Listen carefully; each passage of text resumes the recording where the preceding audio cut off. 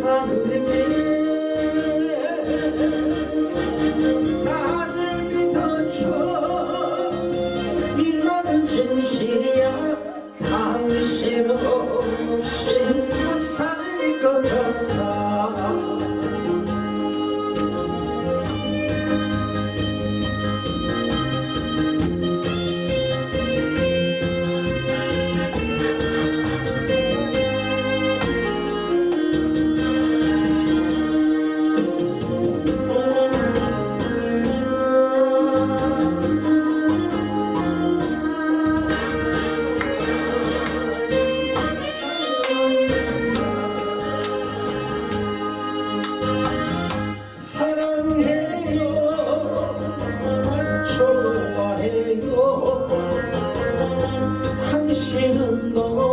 잊어버리고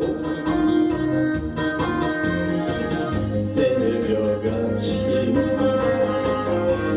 이슬처럼 너무나 아름다운 내 여자